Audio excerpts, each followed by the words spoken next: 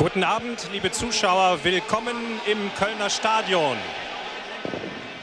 59.000 Zuschauer füllen dieses Stadion fast bis auf den letzten Platz. Der veranstaltende Club, der 1. FC Köln, hat 3.000 Karten nicht verkauft um jedem eine optimale Sicht zu geben. Etwa 10.000 der 59.000 dürften Italiener sein. Ich weiß nicht, ob der Scherzbold recht hat. Der sagt, heute Abend gibt es in ganz Köln keine Pizza mehr zu essen. Wie dem auch sei, eine prächtige Stimmung zu Frühlingsanfang bei Temperaturen um den Gefrierpunkt. Das sind die äußeren Bedingungen. Dazu ein Rasen, der sich unter den gegebenen Witterungsverhältnissen in vorzüglichem Zustand präsentiert. Gestern hat Inter Mailand hier anderthalb Stunden trainieren können und man hat dem Rasen eigentlich so gut wie nichts angemerkt. Ich kann Ihnen sagen, dass alle Asse auf beiden Seiten mit dabei sind. Sie werden jetzt feststellen, dass das so ist, wenn wir Ihnen die Mannschaftsaufstellungen zeigen. Beim ersten FC Köln also alle die, die vorher verletzt waren dabei. Kapitän Klaus Allofs ebenso wie Stefan Engels und Hans-Peter Lehnow. Die Mannschaft also, die sich vor 14 Tagen im Hinspiel so großartig schlug. Und die großen Hoffnungen der Kölner ruhen natürlich auf Pierre Litbarski mit der Nummer 7. Er, der ja in der Bundesliga noch gesperrt ist, darf hier im UEFA-Pokal Viertelfinal-Rückspiel mit dabei sein. Und ihm gilt natürlich auch ein besonderer Gruß der Fans in Rot-Weiß. Das sind die Vereinsfarben des ersten FC Köln.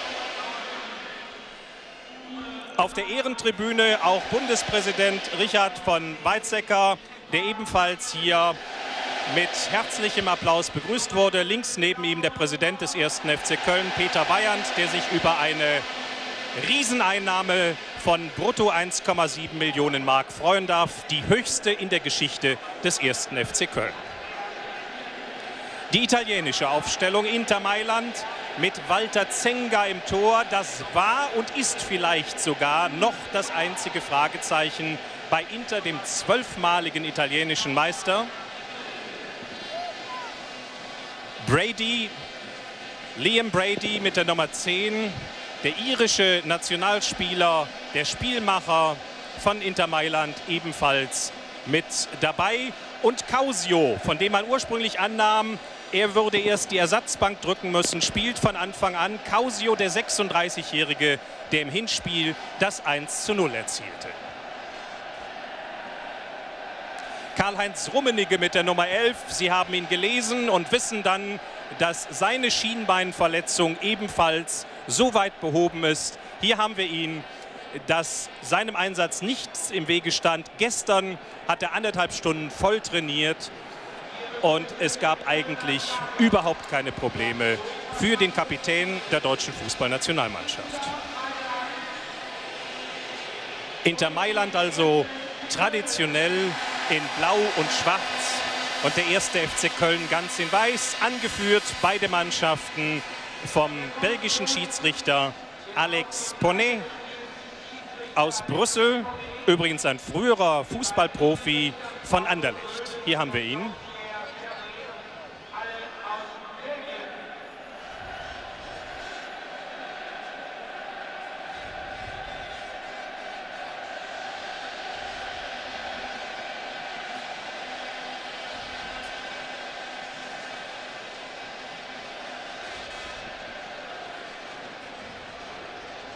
Links Altobelli, der Sturmführer der Mailänder. Rechts Klaus Allofs, also die Torjäger, gleichzeitig auch Kapitäne, hüben wie drüben. Alessandro Altobelli hat in der Lega Nazionale in dieser Saison schon zehn Treffer erzielt. Klaus Allofs, daran erinnern Sie sich sicherlich, liegt in der Bundesliga-Torjägerliste an zweiter Stelle mit 15 Toren. Das unparteiische Team aus Belgien, gerade Alex Bonnet, genießt bei den Kölnern einen guten Ruf, nachdem er im September 1982 in einer sehr hitzigen Atmosphäre das Wiederholungsspiel bei AEK Athen für die Kölner sehr ordentlich über die Bühne brachte. Nicht zuletzt deswegen gewannen die Kölner dann auch mit 1 zu 0.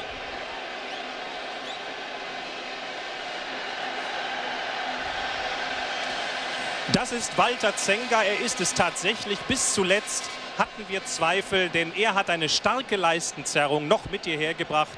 Aber auch sie scheint soweit behoben. Der erste FC Köln hat Mittelanstoß. Uwe Bein am Ball, neben ihm Litbarski. Das Spiel läuft.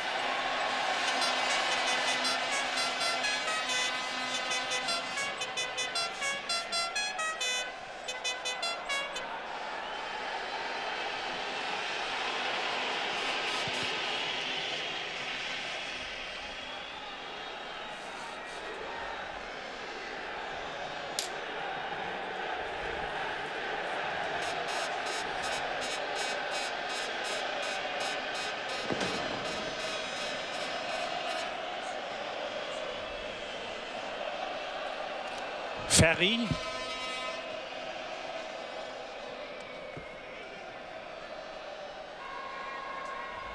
Baresi. Altobelli.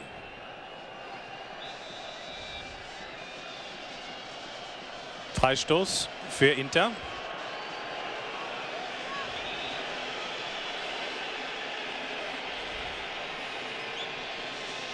Liam Brady. Steiner.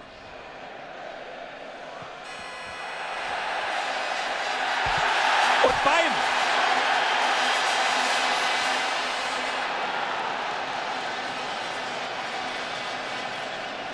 Engels. Geils. Stefan Engels. Mit seinem schwächeren rechten Fuß.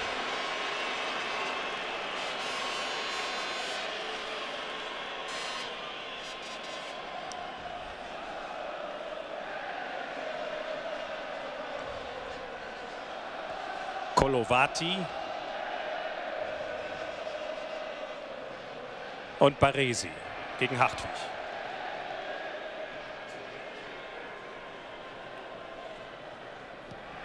Rummenigge von Prestin bewacht, wie schon im Hinspiel und wie etliche Male in der Bundesliga. Das ist Prestin.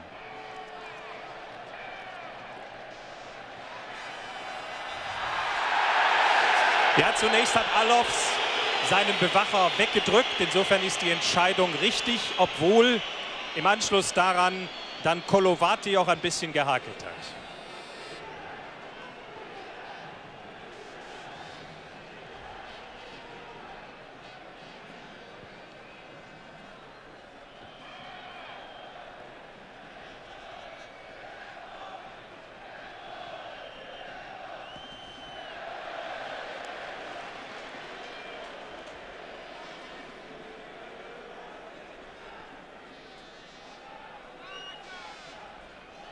Ferry, Causio und Kölns Libero Steiner.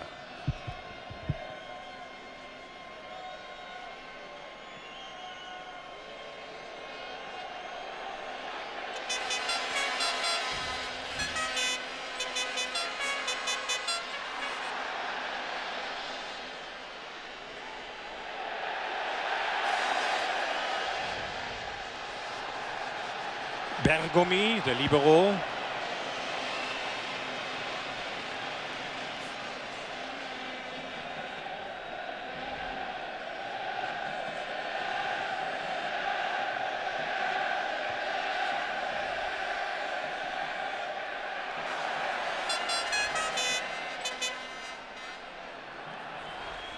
Brady.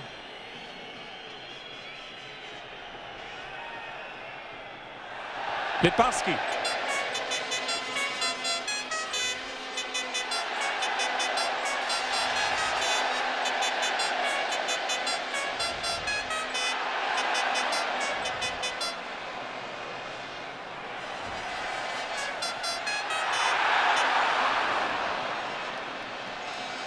Steiner. Hartwig.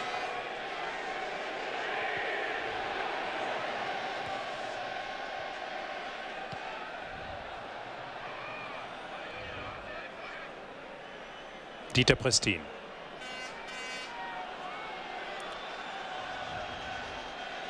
Bein. Und Geils. Wird ein bisschen weggedrückt von Ferry. Steiners Schuss.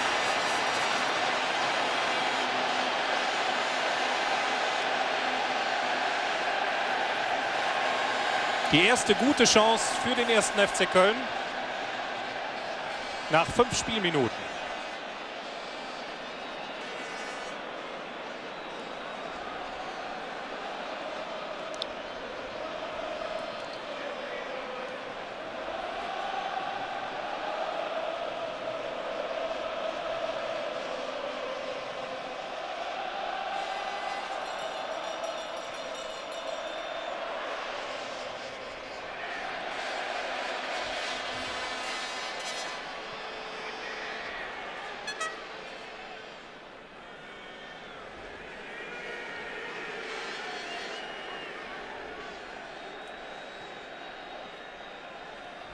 Steiner.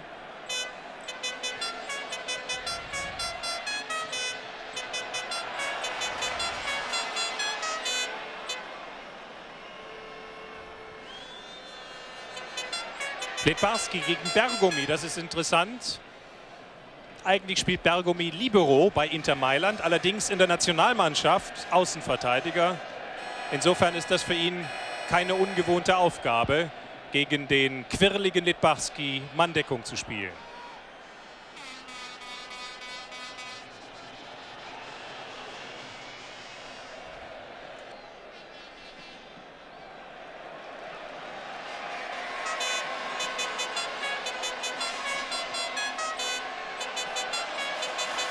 Klaus Allofs.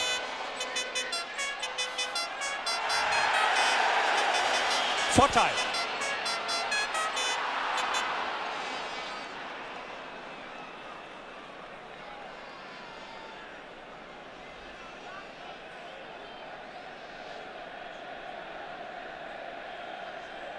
Walter Zenga, in dem viele den künftigen Nationaltorhüter der Squadra Azzurra sehen.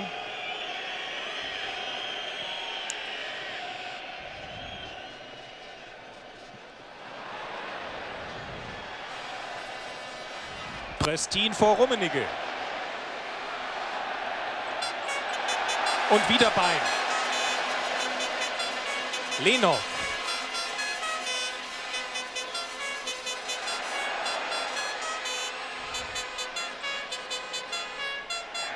Erster Eckball für den ersten FC Köln. Dachte ich und dachten auch die Zuschauer.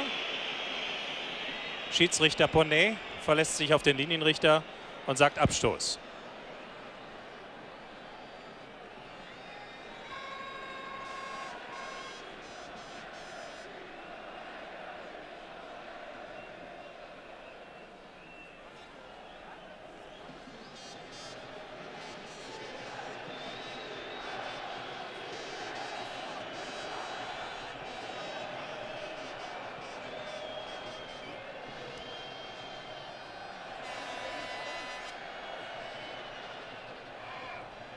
Steiner. Höhnerbach. Der Kölner Vorstopper, der gegen Altobelli spielen soll. Ah, mit Händen und Füßen und dann tritt er nach. Das ist der erste Platzverweis, wenn Herr Poney Mut hat. Jawohl, richtig. Ferry, der Hitzkopf, der 21-Jährige, hat nachgetreten gegen Alofs und wird des Feldes verwiesen.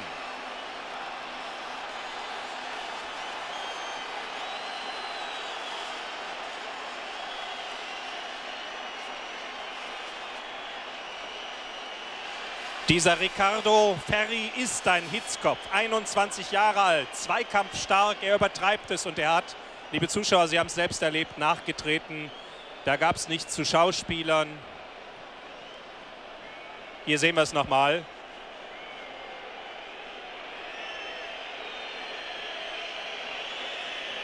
Da werden natürlich Erinnerungen wach an große Schlachten, gerade zwischen Inter Mailand und deutschen Clubs. Ich erinnere Sie an das Jahr 1971. Hier sehen Sie noch mal die Szene. Kommentar überflüssig. Spiel läuft weiter. Engels. Und Kopfball von Uwe Bein.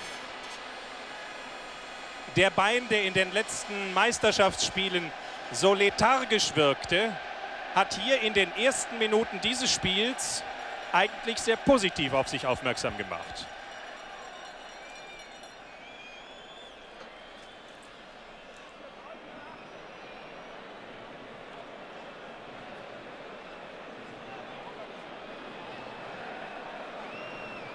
Das ist Trainer Ilario Castagnier. Er ist natürlich jetzt sauer auf Ferry. Hier mag sein taktisches Konzept jetzt natürlich in Frage gestellt sein. Ich will in diesem Moment gar nicht groß an die Binsenweisheit im Fußball erinnern, dass es manchmal unangenehmer ist, gegen zehn Mann zu spielen als gegen elf. Die taktische Aufgabe des ersten FC Köln ist ja klar. Nach dem 1 zu 0 von Mailand im Hinspiel benötigen die Kölner zwei Tore oder einen zwei Tore Vorsprung, um sich für das Halbfinale im UEFA-Pokal zu qualifizieren.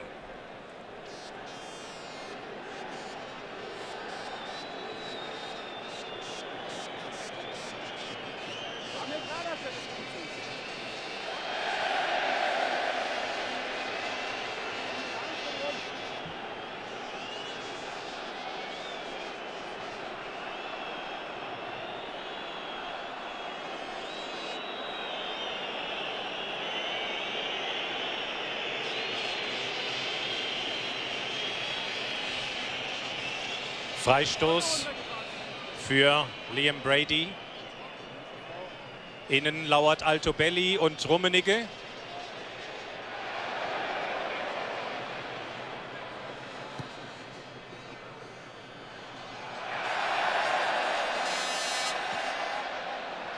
Rummenigge, kein Abseits. Oh, oh, oh, oh, oh, oh. Da hat der gute Geiz ganz schön gedrückt.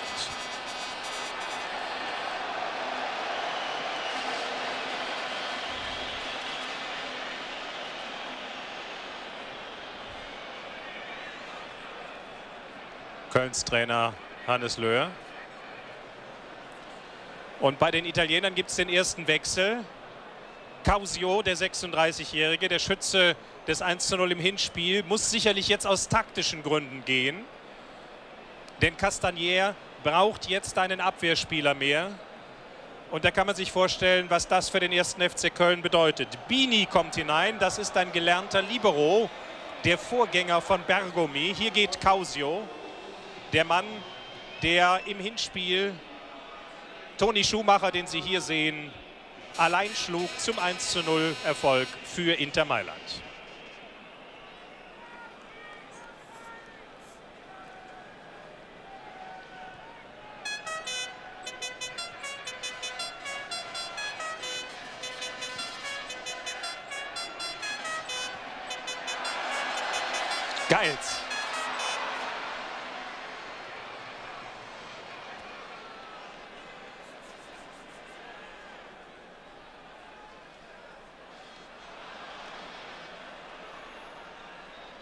Brady.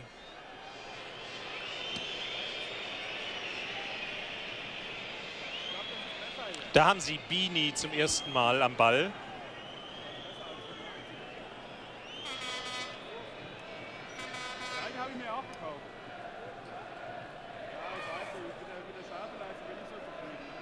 Schön gemacht von Lenov.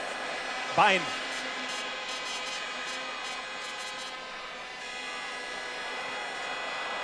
Geils. Er hat Probleme, der frühere Bielefelder.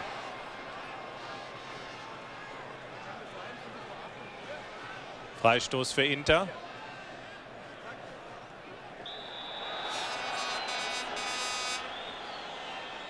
Und noch einmal.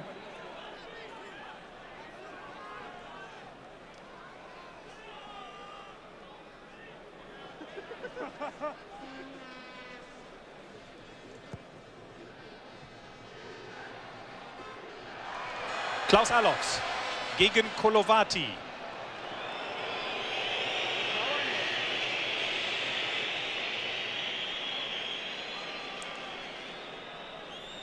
Ja, ich vermute, dass jetzt Kolovati gegen Alofs und Bergomi gegen Litbarski spielt, während Vini Jansin die Rolle des letzten Mannes bei Inter Mailand übernimmt. Und Sie sehen, wie er sie versteht.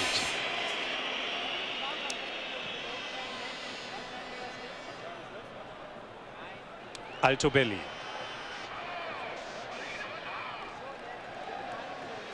Stein, no?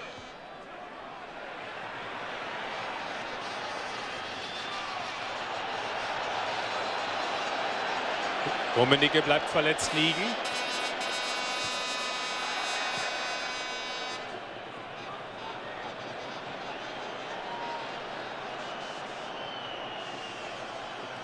Sie erinnern sich, dass er am vergangenen Sonntag im Lokalderby gegen den AC Milano, gegen einen Bruder seines Clubkameraden Giuseppe Baresi, gegen Franco Baresi,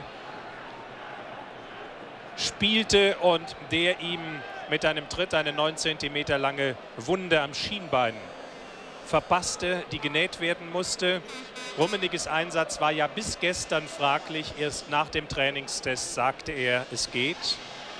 Möglicherweise hat es ihn genau da wieder erwischt. Ja, jetzt sind gut 15 Minuten vorbei, schon 16 Minuten. Da ist eine Menge passiert, auch wenn es noch 0 zu 0 steht, meine Damen und Herren. In der fünften Minute rettet Kolovati auf der Linie.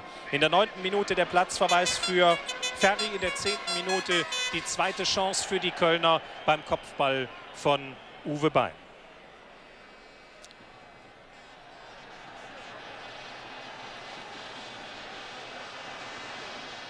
Alto Belli. Freistoß Das war bei uns gar nicht zu hören. Der Pfiff von Schiedsrichter Poney. Torentfernung 2,23 Meter. Brady ist ein gefürchteter Freistoßschütze. Von Karl-Heinz Rummenigge wissen wir das. Die beiden stehen am Ball.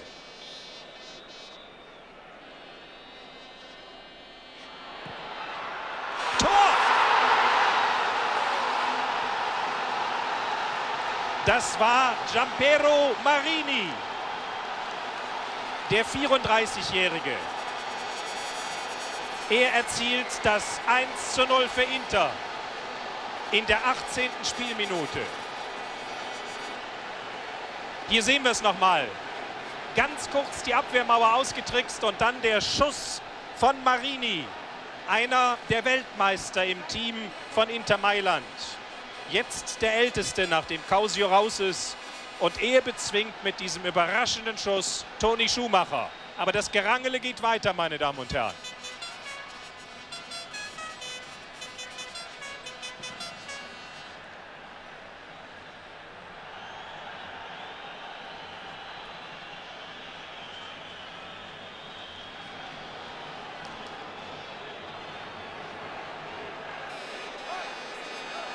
Da liegt Alessandro Altobelli auf dem Rasen.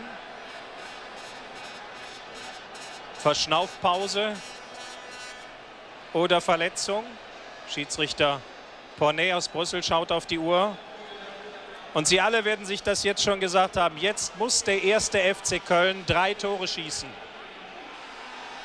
um mit 3 zu 1 in die nächste Runde einzuziehen. Denn würde Köln nur 2 zu 1 gewinnen, dann träte die sogenannte Auswärtstorregel in Kraft. Und dann würde eben dieses Tor von Marini in der 17. Minute ganz, ganz wichtig sein. Was war das? Beim ersten FC Köln gibt es den ersten Wechsel. Uwe Haas kommt. Und Karl-Heinz Geils geht, der in den ersten 18 Minuten alles andere als gut aussah.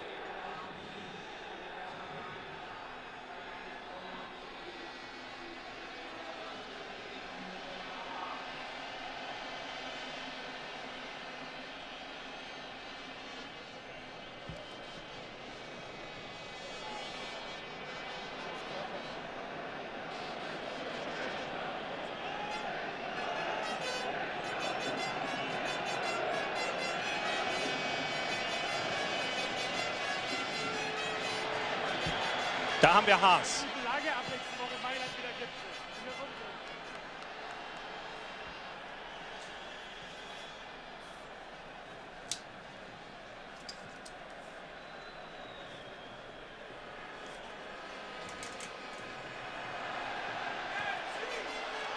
Der hätte gepasst. Dieser 25-Meter-Schuss von Uwe Haas. Hier sehen wir die Szene nochmal. An Rummenigge vorbei. Aber Zenga steht im kurzen Eck. Erster Eckball für den ersten FC Köln. Pierre Litbarski wird ihn treten.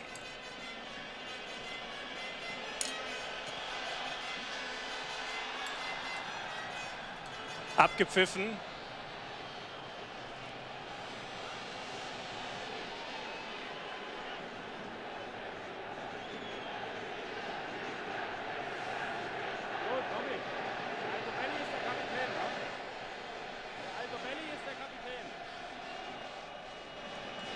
Bini.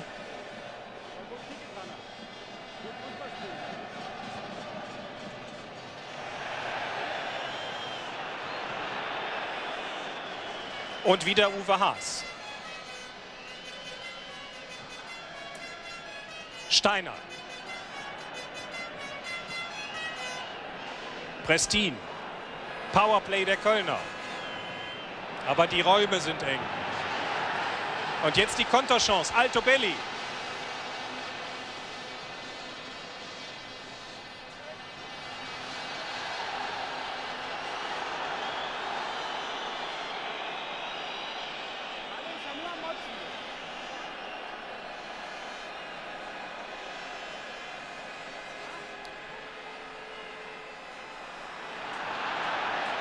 Ja, das ist gefährlich. 3 gegen 2 jetzt. Alto Belli rechts. Rummenigge.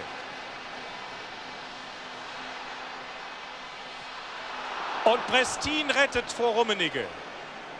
Das wäre der Kölner K.O. gewesen.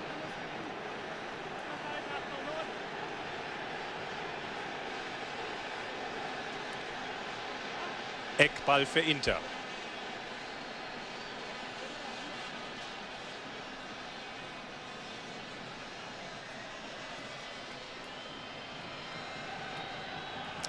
Liam Brady wird treten.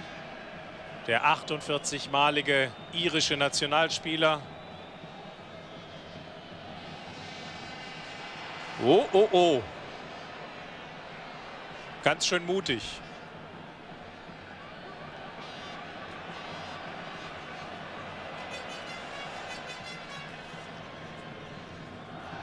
Steiner.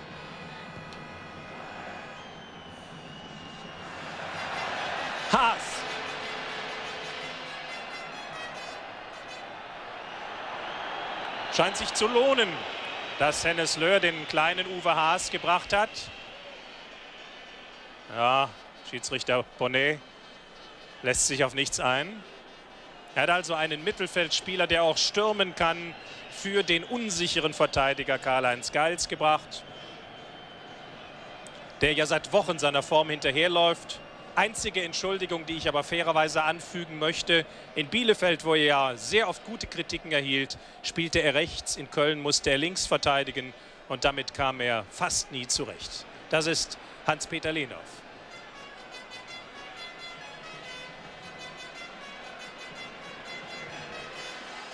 Wieder Haas.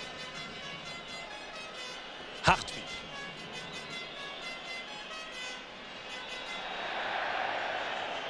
Bisschen langsam, was Bein da macht und sofort geht Marini dazwischen, der Schütze des 1 zu 0 für Inter Mailand.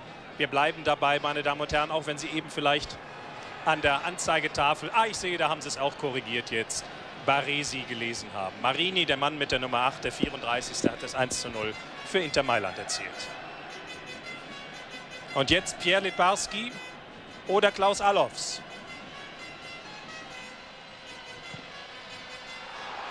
Allofs Schuss und Zenga.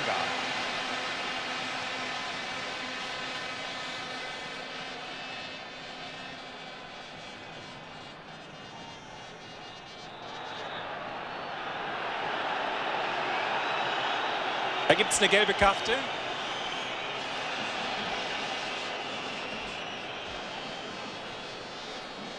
Für Jimmy Hartwig. Oder besser gesagt gegen ihn. Er hatte bisher in diesem Wettbewerb noch keine.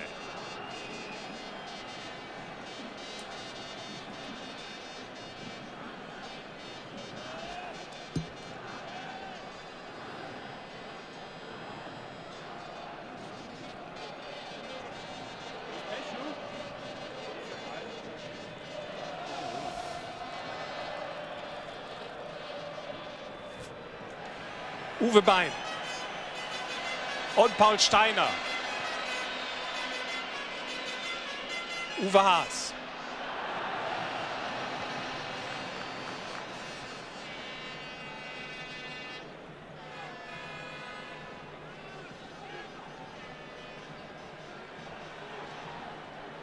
Alle Feldspieler in der Hälfte der Italiener. Freistoß.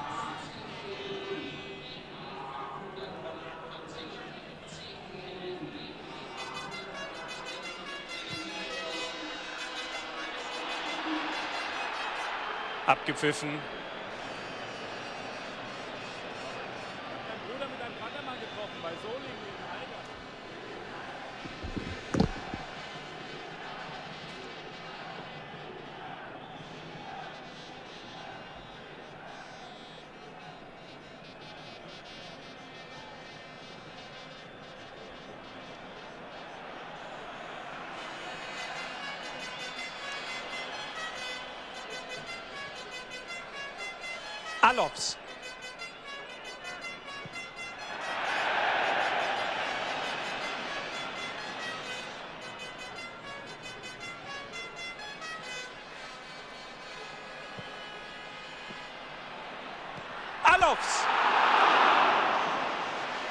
Hat ihn voll getroffen, aber die Richtung stimmte nicht ganz.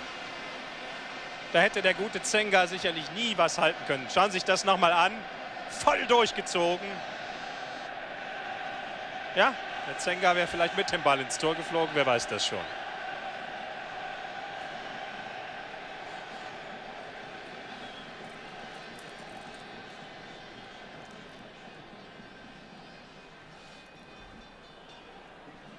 Oh, Paul Steiner bleibt liegen. Nach diesem Zusammenprall beim Kopfballduell mit Rummenigge, der sich um ihn kümmert. Oh, oh, oh, das sieht nicht gut aus.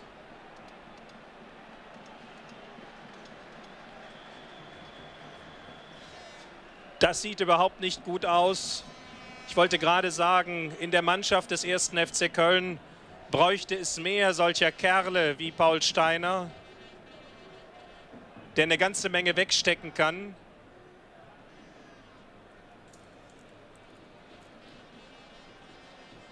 Hoffentlich hat er sich nicht das Nasenbein gebrochen.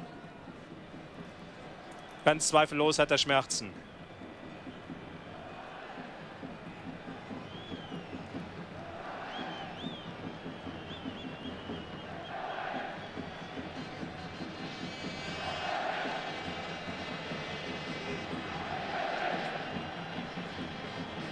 Na Gott sei Dank, es scheint wieder zu gehen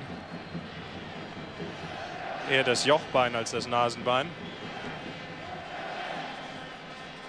So, es gibt Schiedsrichterball im Mittelkreis.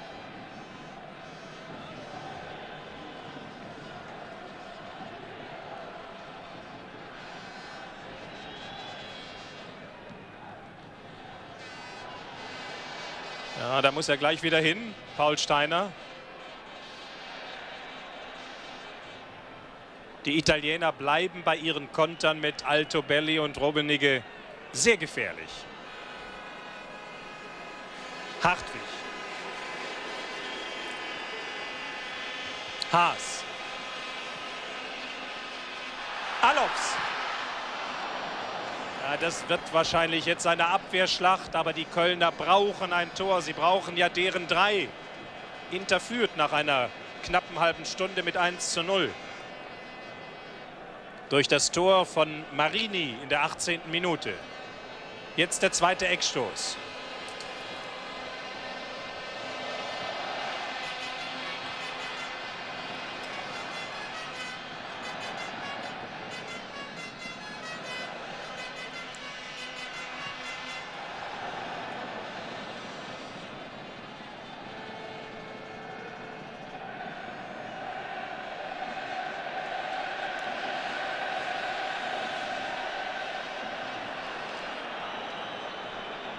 Ja, zum ersten Mal jetzt ein krasser Fehlpass von Paul Steiner. Vielleicht ist er auch noch nicht wieder ganz voll da nach seiner Verletzung eben.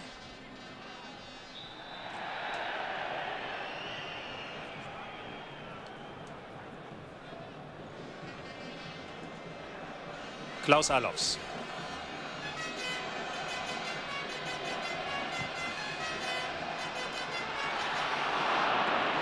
Schade. Der Kopfball von Bein, der wirklich heute viel aktiver ist als in den letzten Meisterschaftsspielen. Insgesamt, meine Damen und Herren, wartet ja der erste FC Köln nunmehr schon. Hier sehen wir die Szene nochmal. Es war vielleicht ein bisschen weiter weg, als äh, die Torkamera es jetzt einfing. Alex Bonnet ermahnt Walter Zenga. Mir gefällt der belgische Unparteiische ganz ausgezeichnet. Er hat dieses sehr schwer zu leitende Spiel sicher im Griff. Hier wird mit Haken und Ösen und oftmals auch die Regeln des Erlaubten überschreitend gekämpft. Aber Pierre Litbarski sieht es noch locker.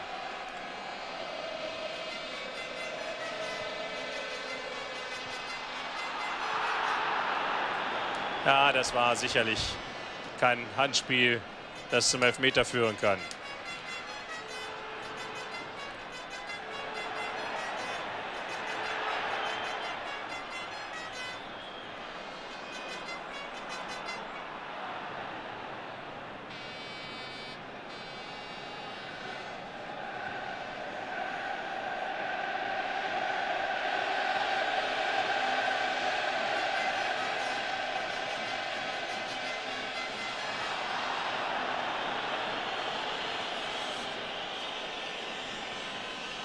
Ja, die Kölner brauchen jetzt natürlich auch ein Publikum, das weiter hinter ihnen steht. Sie zeigen bisher enormen Einsatz, um diese Riesenpechsträhne auch mal zu überwinden. Mittlerweile ja seit über 440 Minuten in Meisterschaftsspielen ohne Tor. Wobei wir also jetzt auch die beiden UEFA-Pokalspiele mit einbezogen haben. Sie kennen ja die miserable Serie miserable Serie in der Meisterschaft, der ja, und auch das ist typisch Kölsch, voraufging ein 12 zu 0 Punktekonto, das die Kölner bis auf den zweiten Platz in der Bundesliga emporkatapultierte. Und dann kam diese schwarze Serie im März. Und nun laufen sie dem Tor der Mailänder aus der 18. Minute hinterher.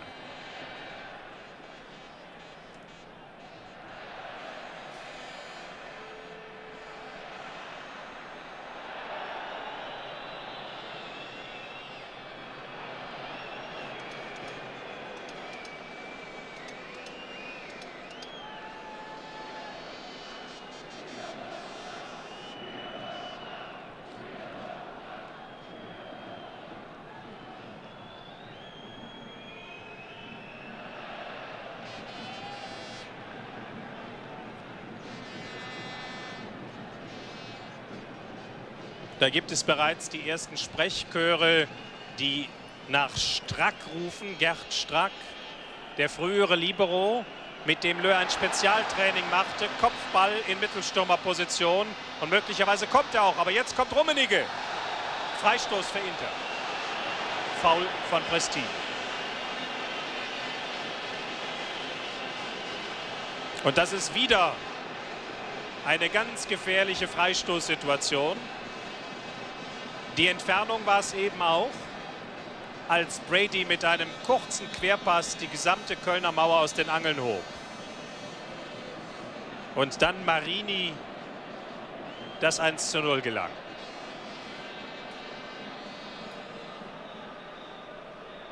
Wieder steht Brady am Ball.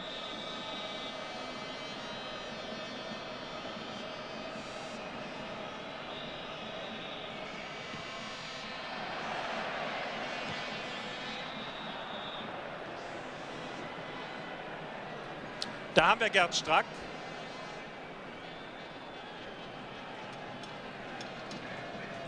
Den Mann, der viel privates Pech vielleicht auch Unvermögen in den letzten Monaten begleitete. Dessen Form darunter sehr, sehr litt. Jimmy Hartwig.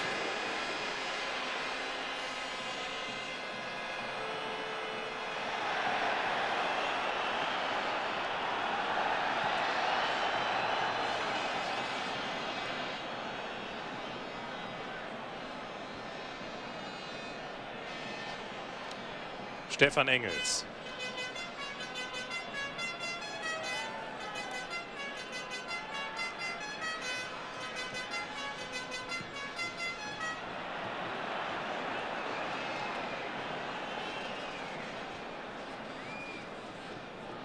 Prestin, Steiner, wieder alle Kölner tief in der Hälfte von Inter Mailand. Lenov. Das ist natürlich jetzt ganz schwer gegen diese erfahrene Hintermannschaft, die immer noch wohl die beste in Italien ist, jetzt durchzukommen. Alofs.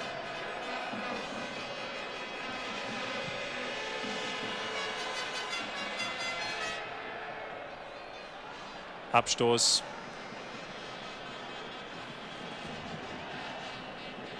Hannes Löhr. Er weiß, wie schwer das wird.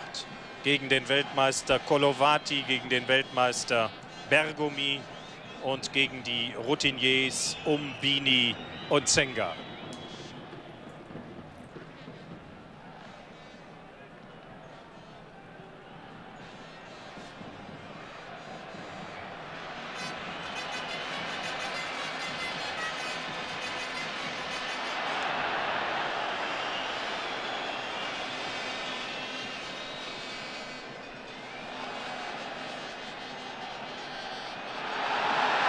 Schön gemacht von Kalle Rummenigge.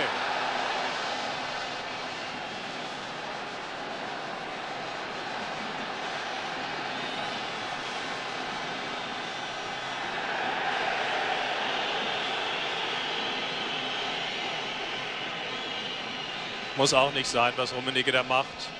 Das lässt Alex Bonnet sicherlich nachspielen.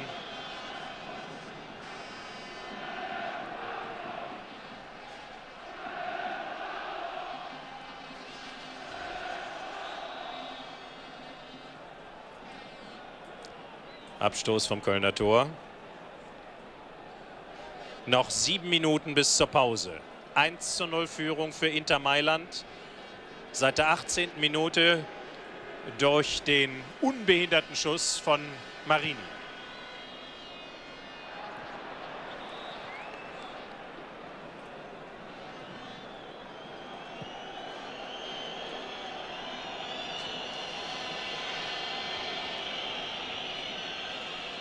Uwe Haas. Litbarski.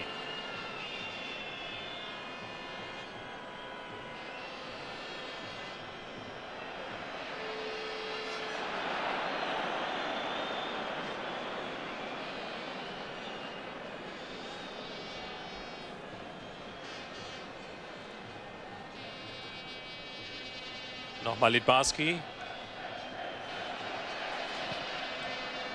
Hartwig, rein mit dem Ball.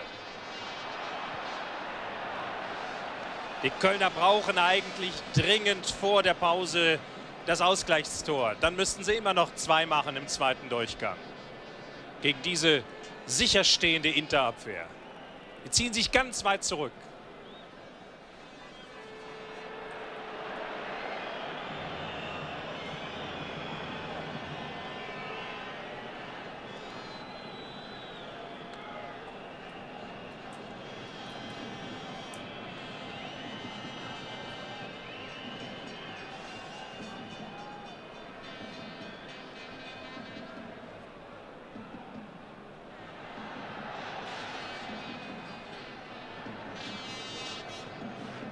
Prestin.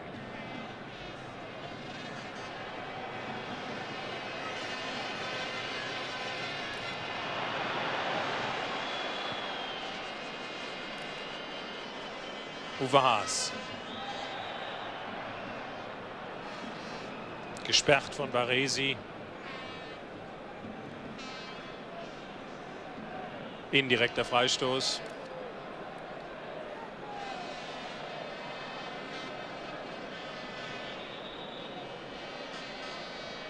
Ja, bei solchen Situationen könnten Sie einen Gerd Strack als Kopfballspezialisten gebrauchen.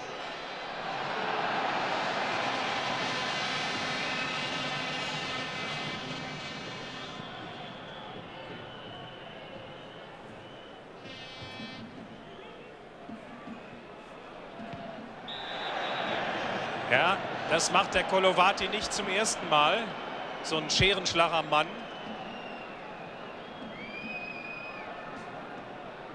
Alops kommt nicht zum Schuss.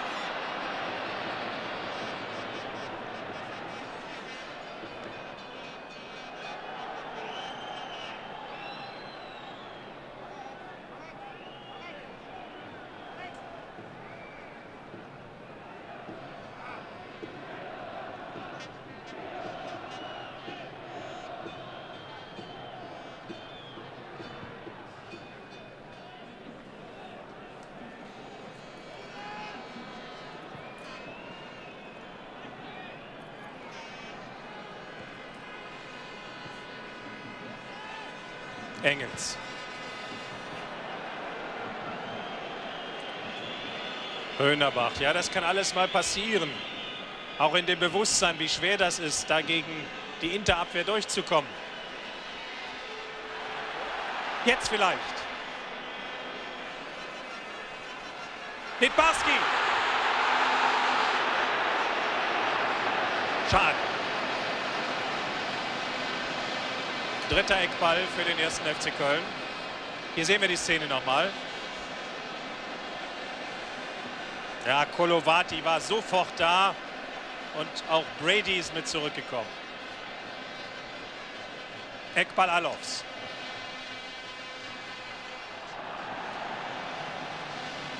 Der Zenga ist sicher.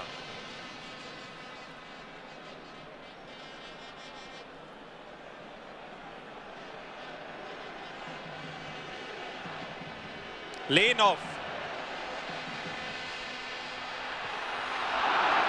Und Engels hat den Ausgleich auf dem Fuß.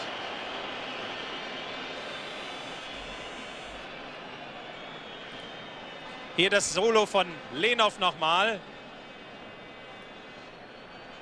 War nicht einfach zu drücken. Das muss man fairerweise hinzufügen. Und das sollten auch die, die da sofort pfeifen, mal bedenken.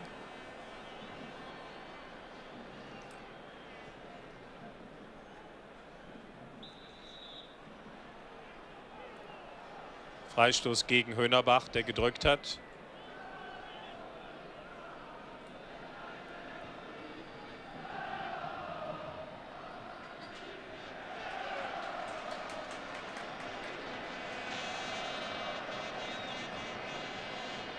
Hartwig. Steiner.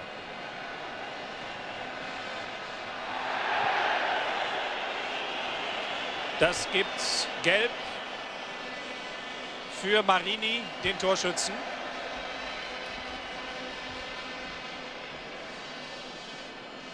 Er lässt das Bein erkennbar stehen.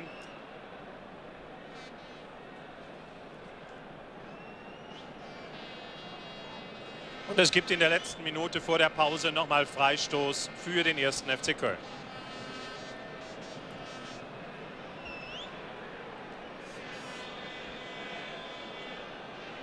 Torentfernung 27 Meter etwa. Litbarski.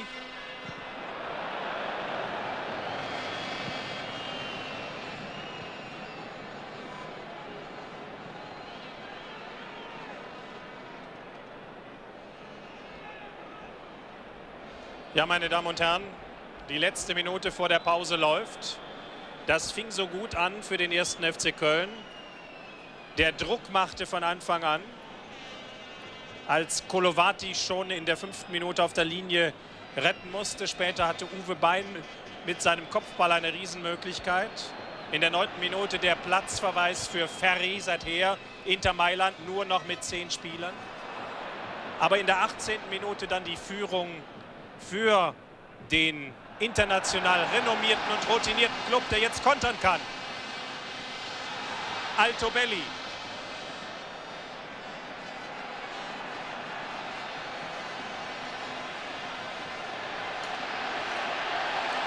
Lenov. Nicht zu halten von Marini. Und er hat gerade Geld gesehen.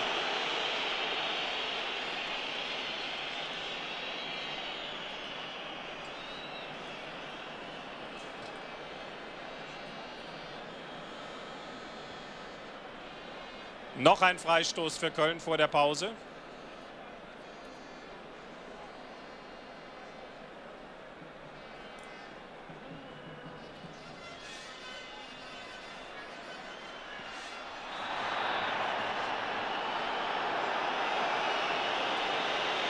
Foul von Rummenigge.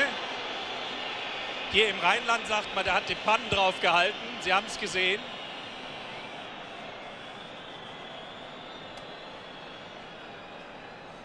Vielleicht sehen wir die Szene hier nochmal. Naja.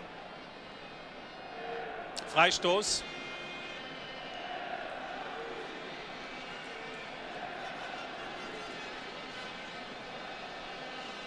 Das Spiel läuft bereits in der 47. Minute.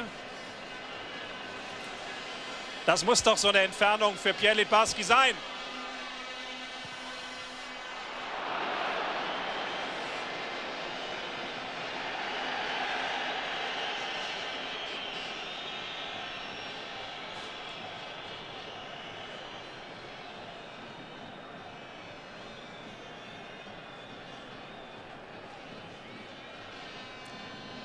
Hier sehen Sie nochmal die Wiederholung. Die Lücke für Alofs war sogar fast da, aber eben nur fast. Und das ist der Halbzeitpfiff von Schiedsrichter Alex Ponet, der dieses schwierige Spiel bisher sehr gut geleitet hat. An ihm liegt es wirklich nicht, dass der 1. FC Köln zur Pause mit 0 zu 1 zurückliegt durch das Tor von Marini in der 18. Minute, als sich die Kölner Abwehrmauer bei einer Freistoßfinte von Brady verladen ließ. Die Mailänder nur mit zehn Spielern, aber sicher und konsequent, manchmal auch zu hart in der Abwehr. Der erste FC Köln weiß, dass er, wenn er wieder aus den Kabinen kommt, drei Tore schießen muss, um noch das Halbfinale zu erreichen. Schafft er das gegen diese Mannschaft? Meine Damen und Herren, wir wollen nicht unken. Wir blenden uns jetzt hier erst einmal aus. Sie sehen gleich nach einem kleinen Spot auch noch einmal eine Torzusammenfassung des Spiels von heute Nachmittag zwischen AS Rom und dem FC Bayern München. Wir geben jetzt zunächst zurück ins Funkhaus.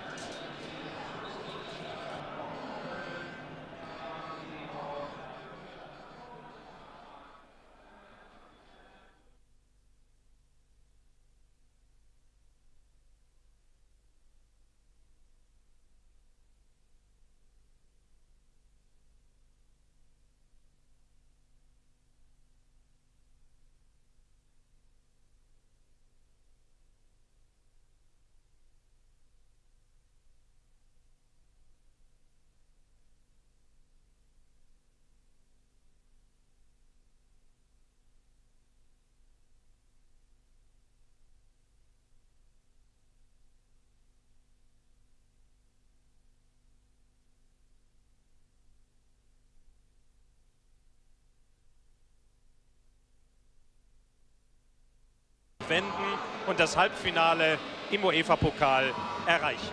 Der 1. FC Köln muss drei Tore schießen und vielleicht gelingt ihm hier ein früher Treffer jetzt, Pierre Litbarski, der im ersten Durchgang stark begann, aber dann auch nicht so eingesetzt wurde, wie er sich das vorstellte. Nun kommt bei Köln Gerd Strack, ich erzählte Ihnen eben schon, dass gestern und vorgestern Hannes Löhr mit ihm ein Spezialkopfballtraining exerzierte. Er wird sich jetzt sicherlich ins Sturmzentrum begeben, der frühere gelernte Libero des ersten FC Köln. Die Mailänder hatten Anstoß, die zweiten 45 Minuten laufen, wohlgemerkt also 10 Mailänder gegen 11 Kölner. Aber die Mailänder hatten das Hinspiel 1 zu 0 gewonnen durch das Tor von Causio, der schon früh ausgewechselt wurde. Und sie führen hier vor 59.000, davon sicherlich 10.000 Landsleuten ebenfalls 1 zu 0 durch den Treffer von Marin. Höhnerbach. Steiner.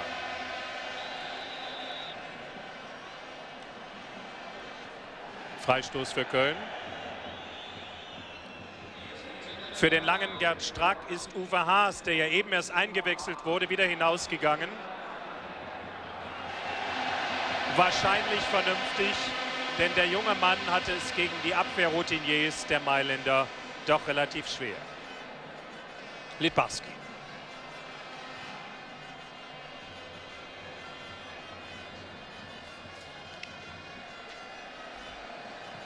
Höhnerbach. Und da geht es zum ersten Mal in Richtung Strack. Außennetz.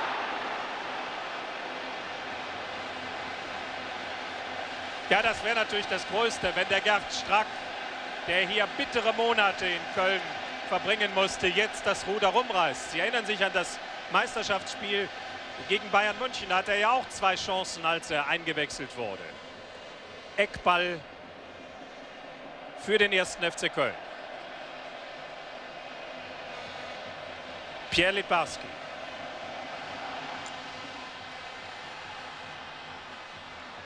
Lenov. Höhnerbach. Also man muss ja sagen, sie, sie versuchen es. Da ist wieder Kampfgeist drin in der Kölner Mannschaft, die zuletzt in der Meisterschaft so schwer enttäuschte und selbst beim Tabellenletzten Dortmund glatt verlor.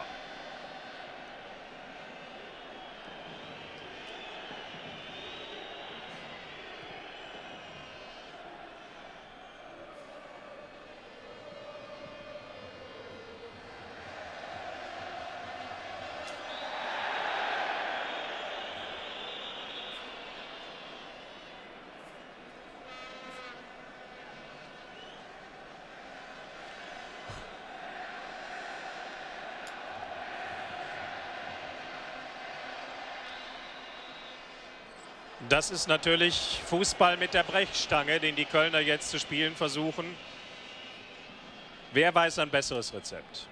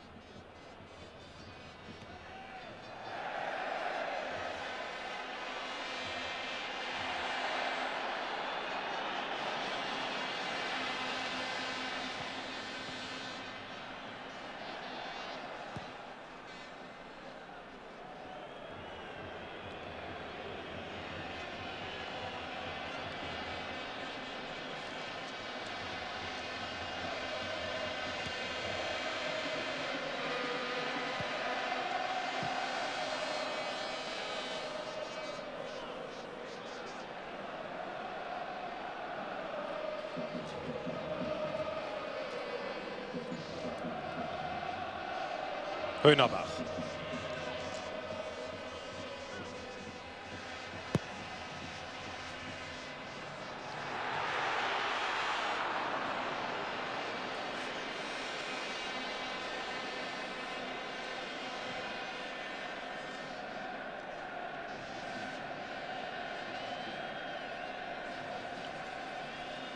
Walter Zenger. Klar, das sind die Mätzchen, die man kennt, die sich aber Schiedsrichter Bonnet nicht gefallen lässt. Donnerwetter. Gelb.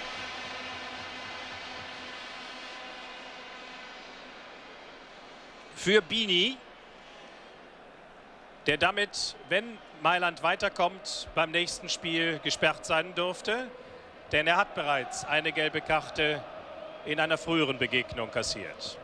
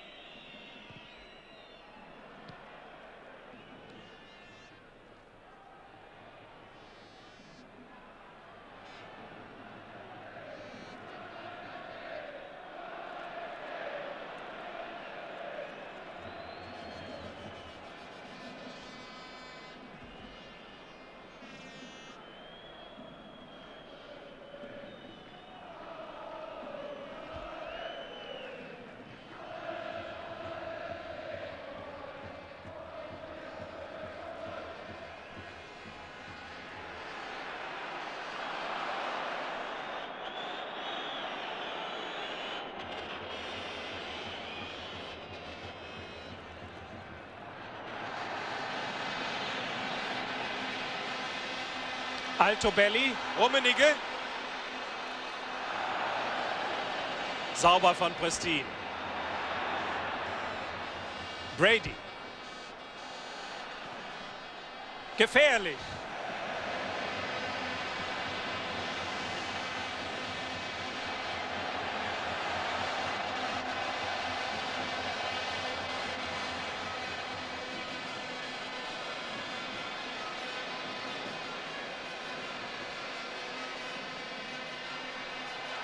Litbarski. Schade.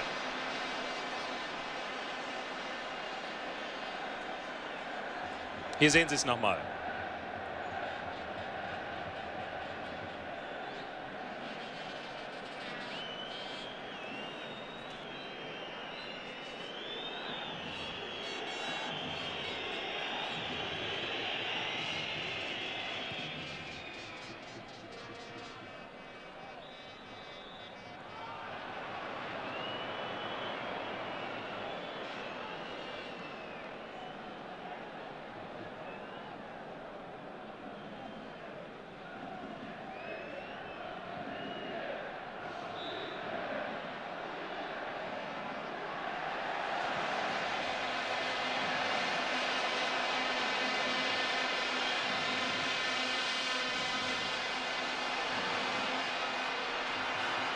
War kein Abseits.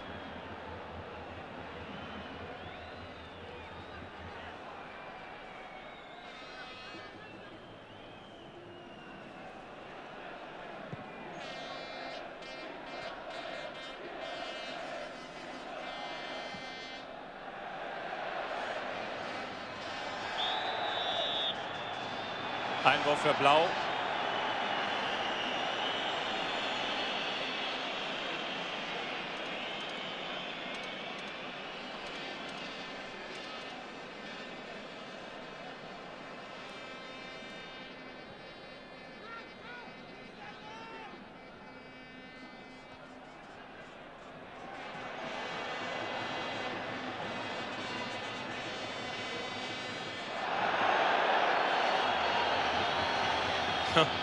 Foul von Litbarski in Rummenigge. Alles nicht so schlimm.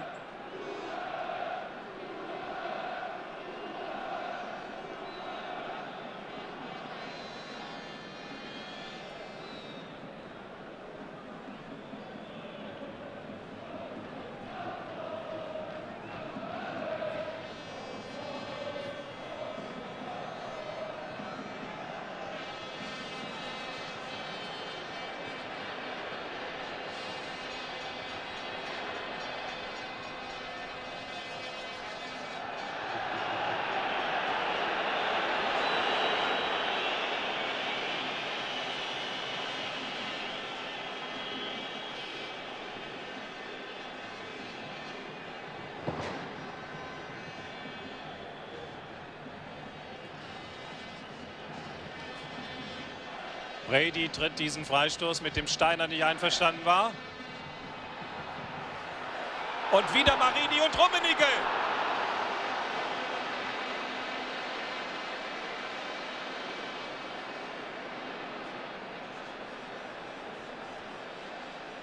Wieder ist Marini völlig frei. Gute Parade von Schumacher, der Kopf und Kragen riskieren muss.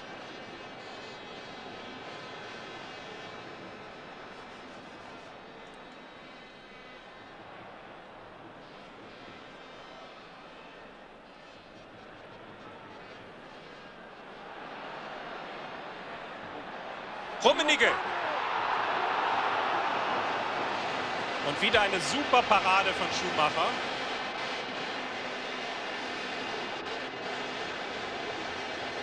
Bradys Flanke. Rummenigge Kopfball. Und die Riesenmöglichkeit für Mandorlini.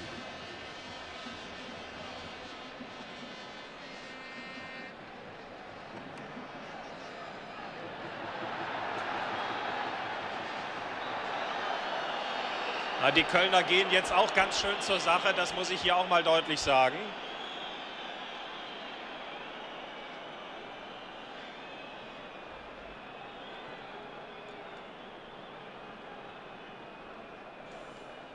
Klares Foul von Prestin an Rummenigge. Und was Höhnerbach da machte, war auch nicht aus Australien.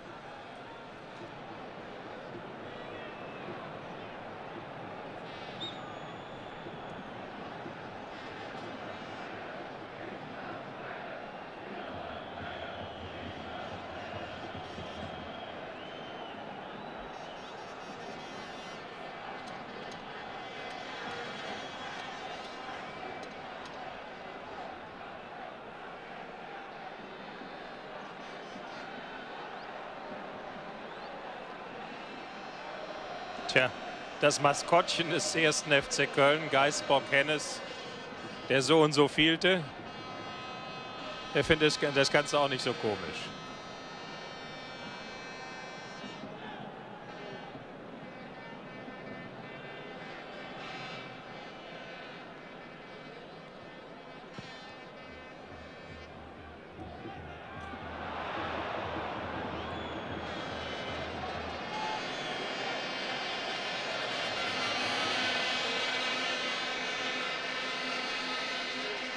Litbarski.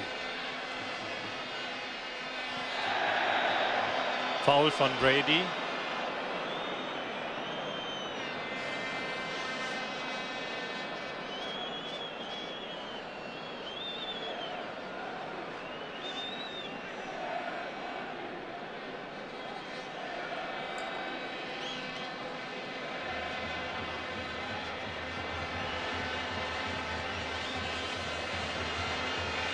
Wieder Alofs und Litbarski.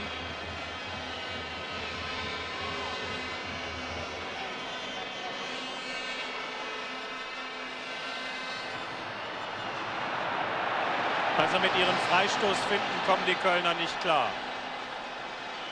Rummenigge. Alto Belli. Gutes Konterspiel von Inter.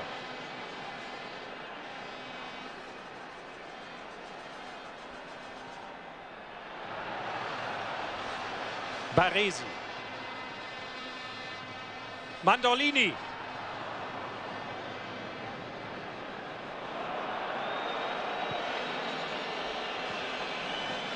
Strack.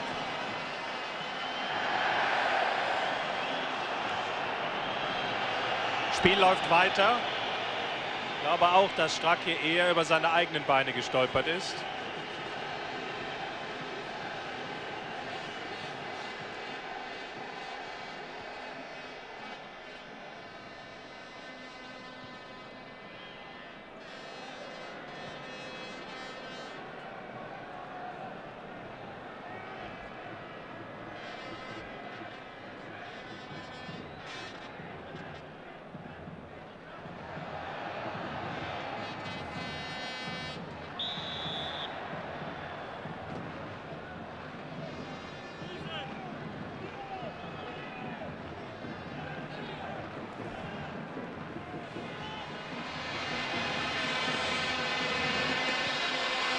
Litbarski.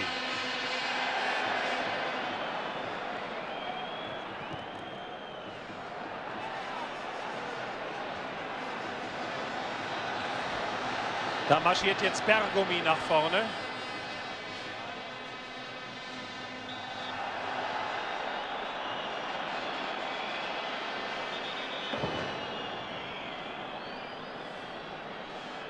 Ja, jetzt lässt Herr Poney sich Prestin kommen. Letzte Ermahnung, sonst gibt es Geld.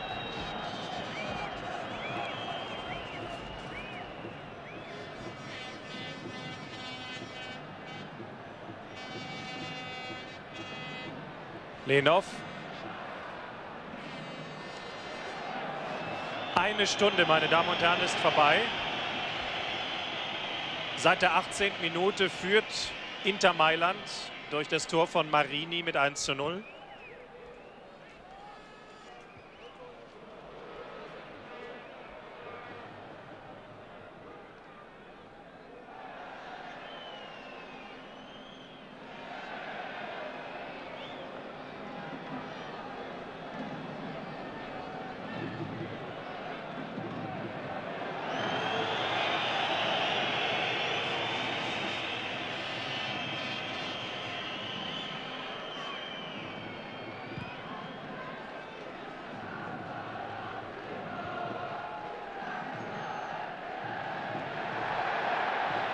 Vorteil richtig gesehen von Bonnet. Lenov.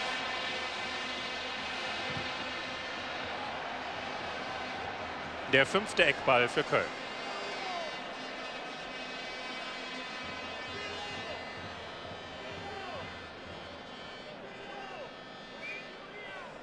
Hans-Peter Lehner, vor einem halben Jahr hat er noch in der Amateuroberliga gespielt.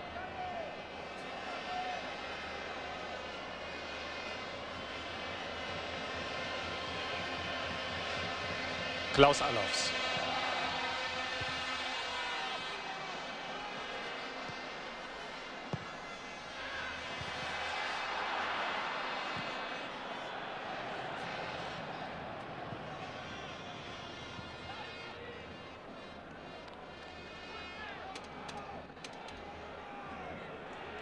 Uwe Bein.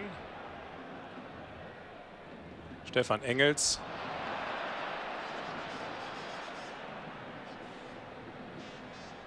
Matthias Höhnerbach.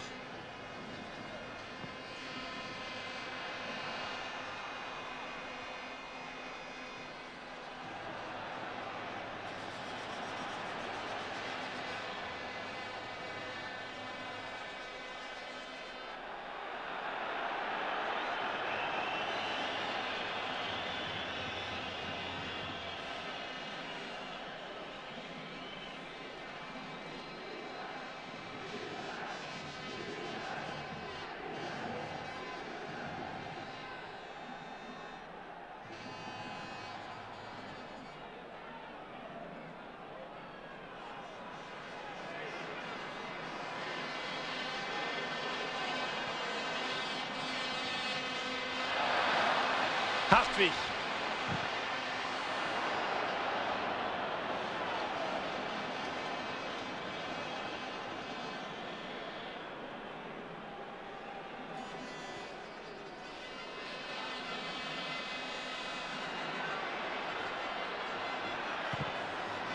Kein Durchkommen.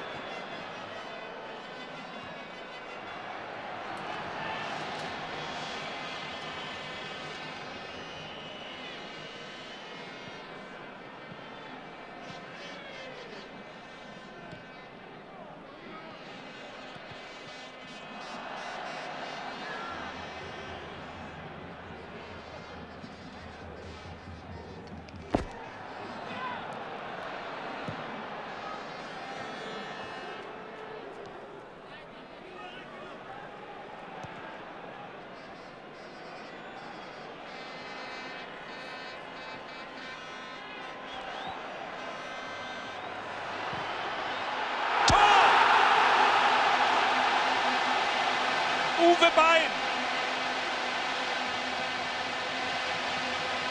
Endlich mal einer, der sich ein Herz fasst. In der 65. Minute. Das 1 zu 1 im Kölner Stadion.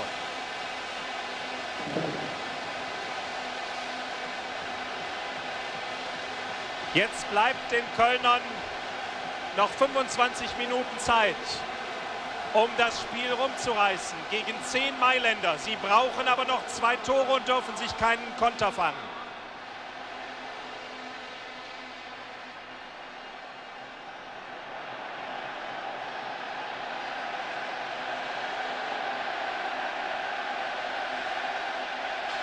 Und sofort sind alle Zweifler wieder zu Optimisten geworden. Lenov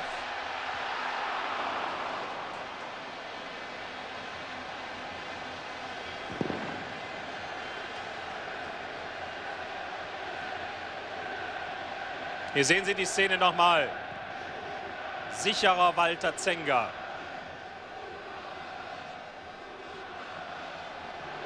Wieder Uwe Bein.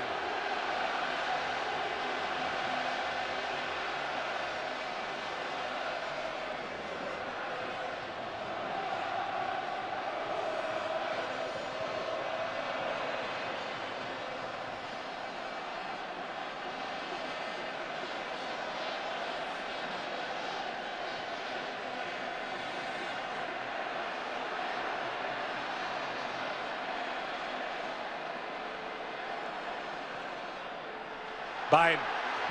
Und noch eins! Mensch, war das Pech. Wieder der ehemalige Offenbacher. plötzlich explodiert er wieder. Zeigt die Gefährlichkeit, die ja für die Kölner Anlass war, ihn überhaupt zu kaufen. Hier sehen Sie es nochmal. Der hätte genau gepasst.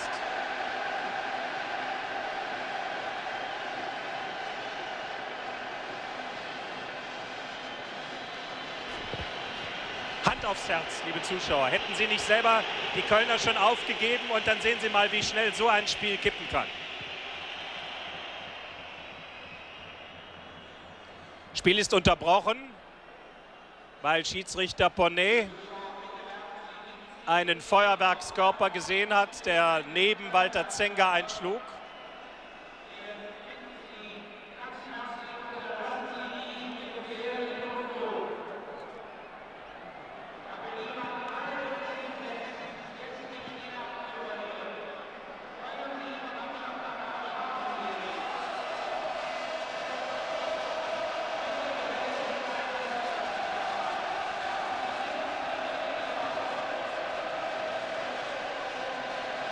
Ja, hoffentlich bleiben die Zuschauer vernünftig. Eine prächtige Stimmung im Kölner Stadion nach dem Ausgleichstor von Uwe Bein.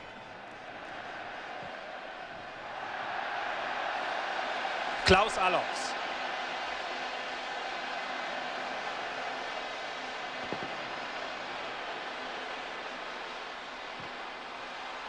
Richtig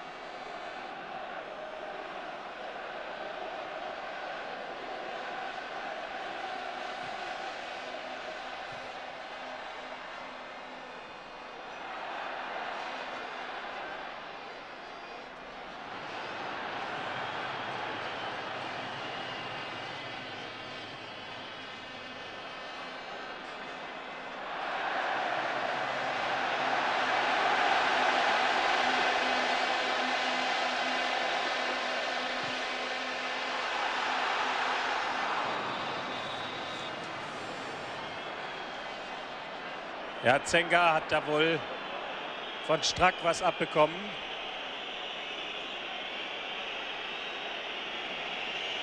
Freistoß für Inter. Hier sehen wir die Szene nochmal. Ja, möglicherweise mit dem Ellbogen. Von der Kamera nicht genau eingefangen.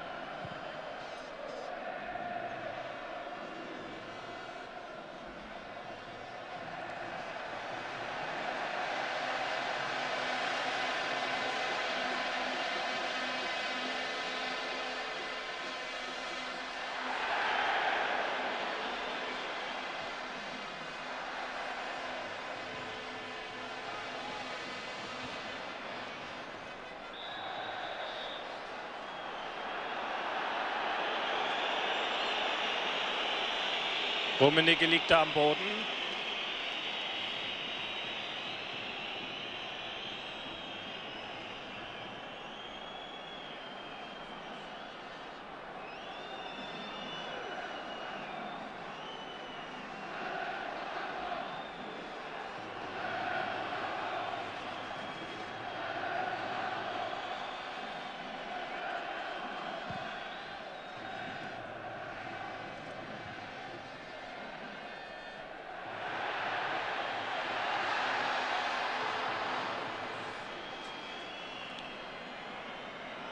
Noch 20 Minuten zu spielen im Kölner Stadion. Von 59.000 1 zu 1 der Spielstand. Die Kölner brauchen noch zwei Tore, um weiterzukommen.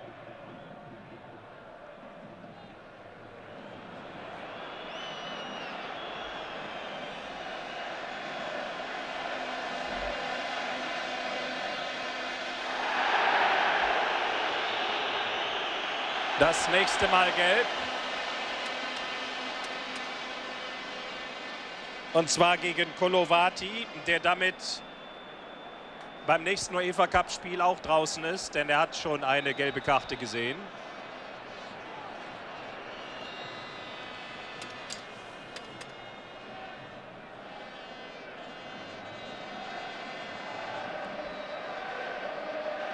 Auf Kölner Seite wurde Hartwig in diesem Spiel verwarnt.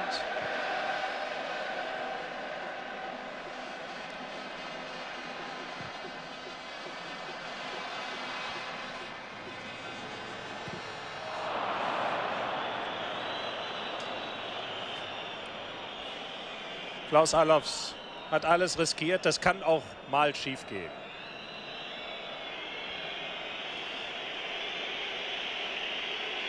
Für meine Begriffe muss weiter versucht werden, beim ersten FC Köln auch aus der zweiten Linie zu schießen. Denn nur die hohen Bälle in den Strafraum vor Zenga bringen es auch nicht, denn dafür sind die langen Italiener zu kopfballstark. Trotz eines Gerd Strack und eines aufrückenden Paul Steiner.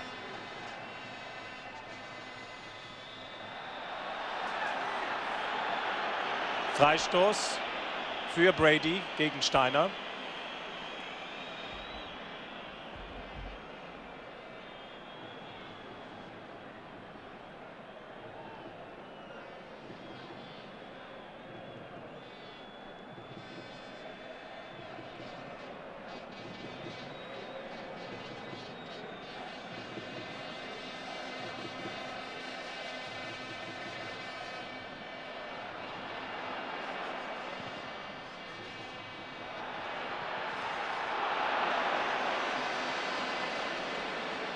War längst vorher gepfiffen.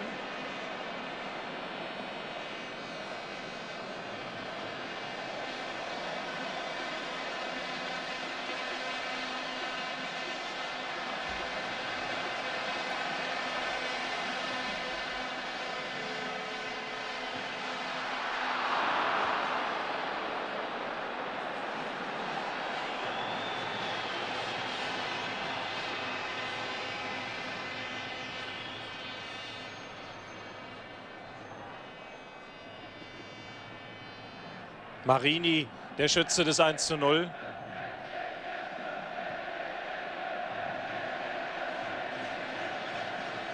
FC kämpfen fordern die Zuschauer. Mandolini. Rummenigge. Tor! Aus, aus und vorbei. Karl-Heinz Rummenigge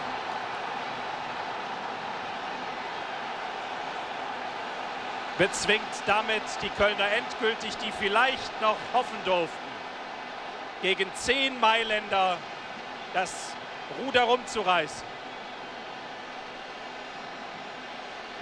In der 75. Minute gelingt ausgerechnet Karl-Heinz Rummenigge mit diesem beherzten Direktschuss unhaltbar für Toni Schumacher das 2 zu 1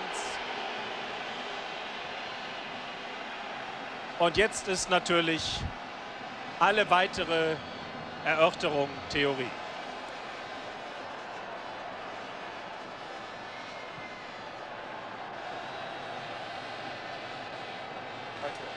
Denn, meine Damen und Herren, dass der erste FC Köln gegen diese resolut, hart und überhart einsteigenden, klug postierten Mailänder noch drei Tore schießt, das ist ja wohl selbst für Superoptimisten nicht mehr darstellbar.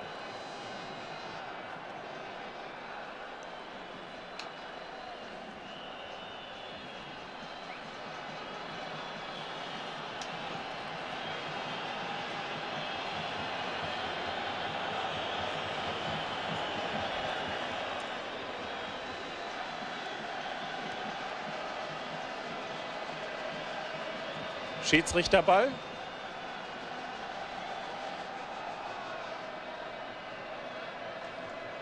Meine Damen und Herren, ich kann Ihnen nicht sagen, um ehrlich zu sein, warum hier Alex Ponet Schiedsrichterball gab. Ich habe in diesem Moment auf die Zuschauerränge geguckt, aber es war ja wohl auch nicht so graviert.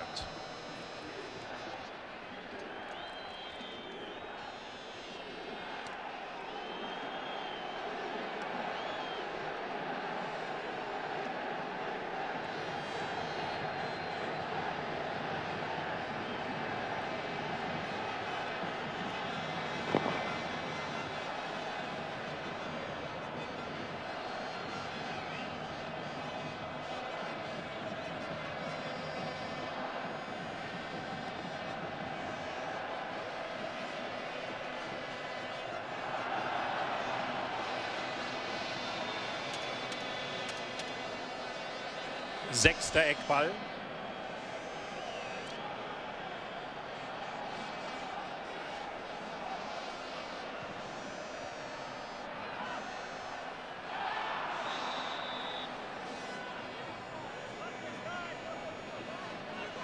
Und der siebte gleich hinterher von der anderen Seite. Klaus Allofs.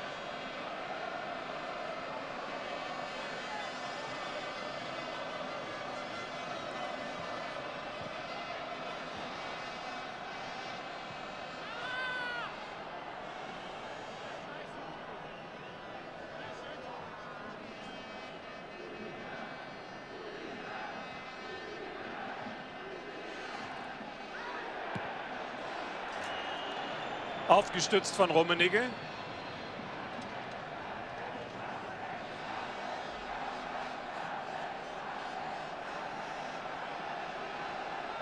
Es gibt nur einen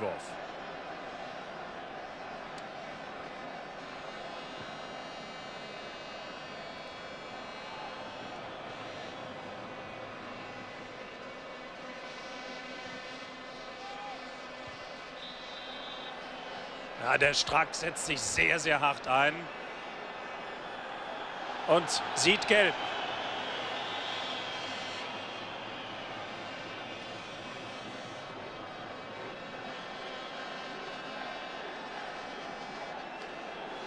Vier gelbe und eine rote Karte in diesem Spiel. Und man muss wohl sagen, das alles war angemessen, was Schiedsrichter Poney hier gemacht hat. Wer weiß, wenn er nicht so energisch durchgegriffen hätte, ob dieses Spiel regulär und fair zu Ende gegangen wäre.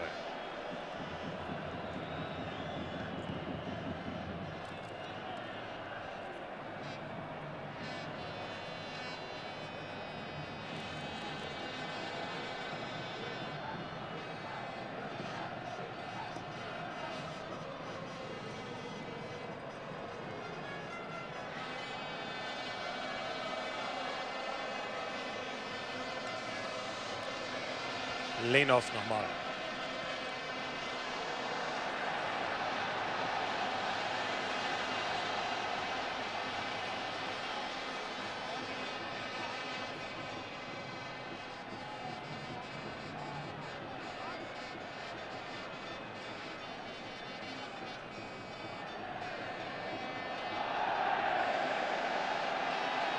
Alto Belli. Mandolini.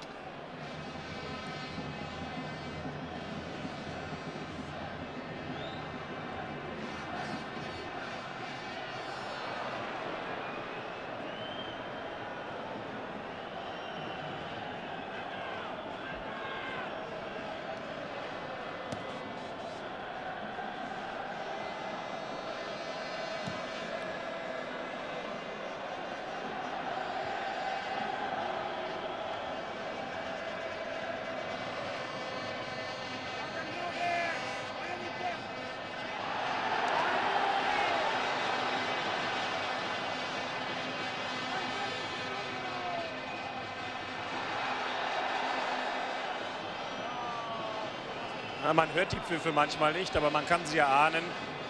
Richtig gesehen von Schiedsrichter Poney, da wurde Alto Belli gesperrt. Indirekter Freistoß für Inter.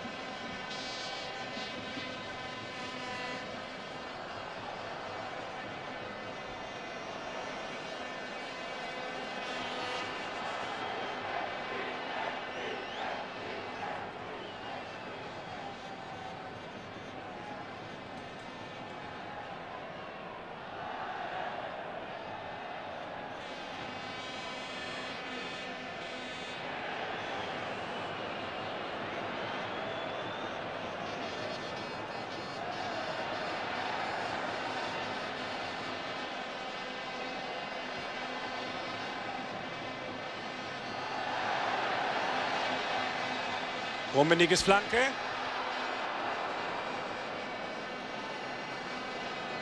Der dritte Eckball für Inter gegenüber sieben Kölner Eckstößen.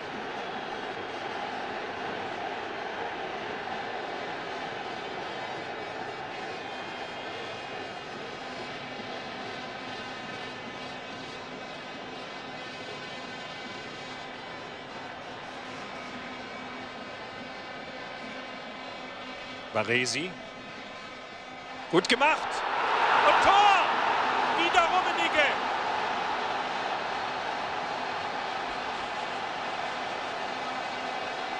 Eine herrliche Aktion von Inter Mailand. Und Kalle Rummenigge wird jetzt bejubelt.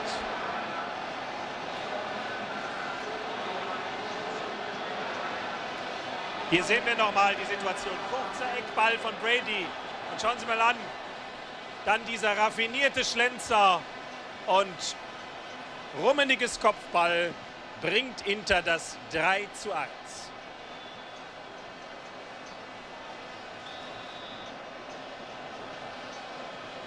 In der 84. Minute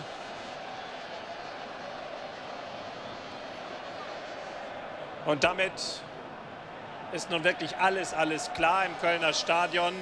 Die Fans haben es längst gemerkt und beginnen mit dem Abmarsch.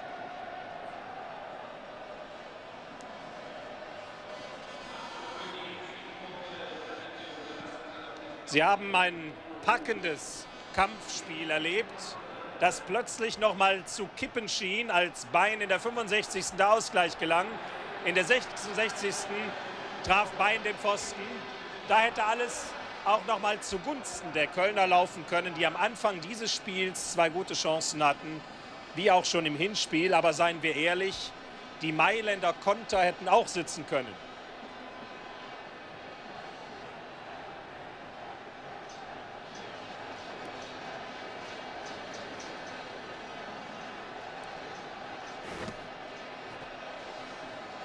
Auch das gehört zu den Erscheinungsbildern solcher Spiele hinter dem Tor von Zenga. Jetzt aber Eckball vor dem Tor von Schumacher.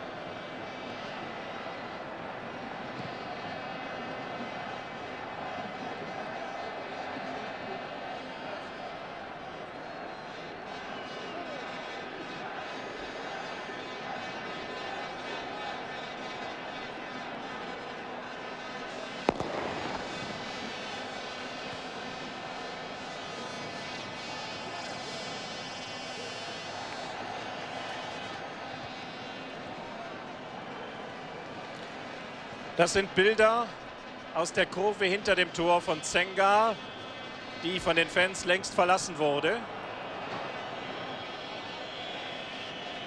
Und das ist schon mehr als ein kleines Feuerchen, was da lodert.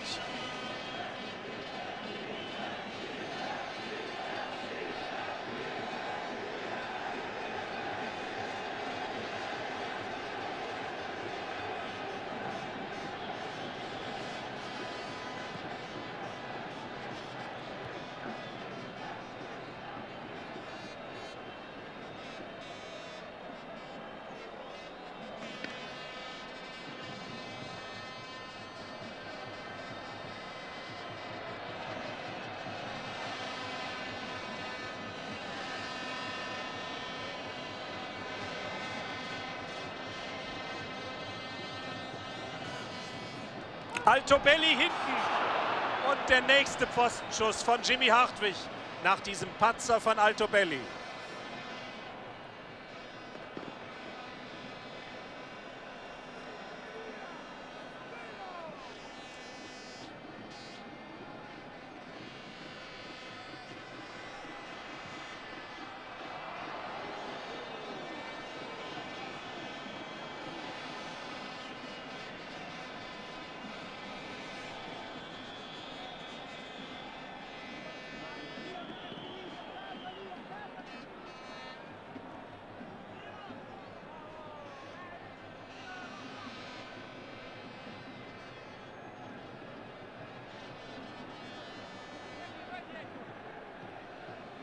Noch anderthalb Minuten, liebe Zuschauer. 3 zu 1 führt Inter Mailand, dessen Anhänger sich jetzt noch mal im weiten Rund des Kölner Stadions bemerkbar machen.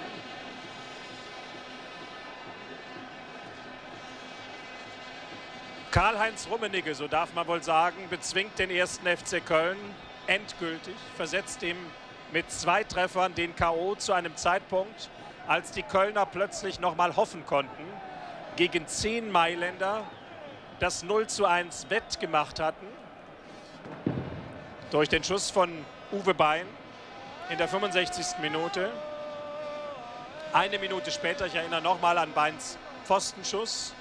Aber dann die beiden Tore von Rummenigge in der 75. und 83. Minute, die endgültig alles klar machten für internationale Mailand. Die Mannschaft, die zweimal den Europapokal der Landesmeister und zweimal den Weltpokal errang. Im UEFA-Pokal fehlt ihnen noch ein Titel und den können sie zumindest noch erringen, denn sie haben nun das Halbfinale dieses Wettbewerbs sicher erreicht. Und sie gewinnen zum ersten Mal ein Auswärtsspiel nach zehn Niederlagen im UEFA-Pokal. Allerdings wird dieser Sieg auch ein Pyrrhussieg sein, denn Kolovati und Bini werden nach der gelben Karte beim nächsten Spiel nicht dabei sein und der des Feldes verwiesene Ferry ohnehin nicht. Aber alle Achtung vor den Kölnern. Mehr als die Mannschaft heute gegeben hat, kann sie nicht geben. Sie hat kämpferisch heute bestimmt über ihre Verhältnisse gespielt. Man hat daran gesehen, dass Hannes Löhr den kleinen Haas einwechselte und dann einsah, dass es nicht brachte, ihn auch wieder rausnahm, dass die Kölner auch keine personellen Alternativen haben. Insofern nützt alles Hadern nichts. Die Kölner haben zweimal gegen Mailand verloren.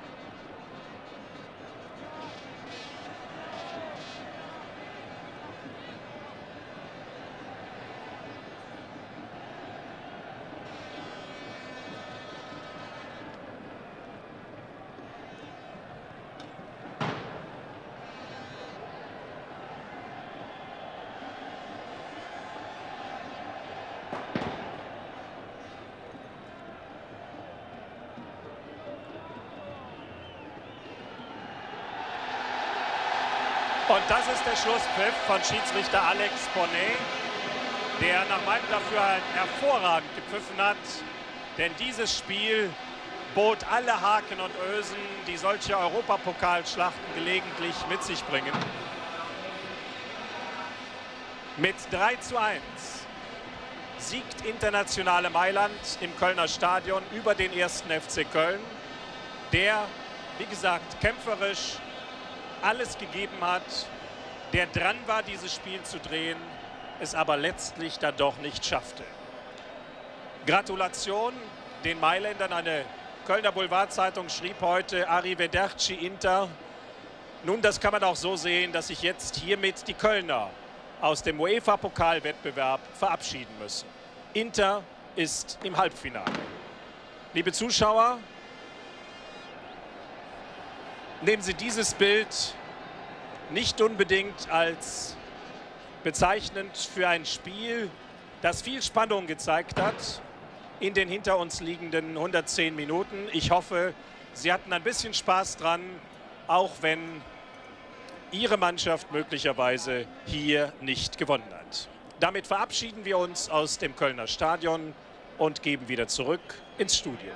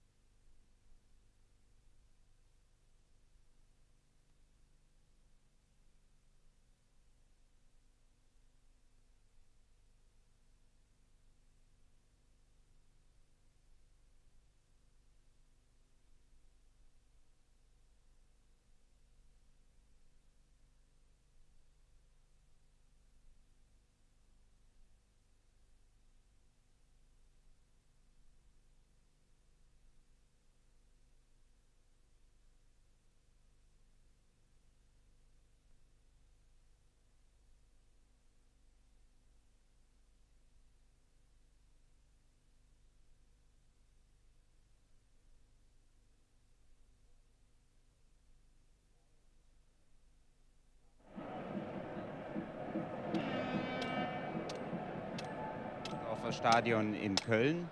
Wir wollen jetzt nicht untersuchen, ob der Boden schuld war an der Niederlage von Köln, sondern der heutige Brennpunkt, er dreht sich um das Thema Boden, um die Belastungen, die wir ihm zufügen. Und Dr. Jäger, der bei uns da ist, er will wissen und er will uns eine erste Analyse geben, wie der Boden aus der Sicht eines Chemikers hier aussieht. Wir nehmen hier jetzt eine Bodenprobe vom Rasen.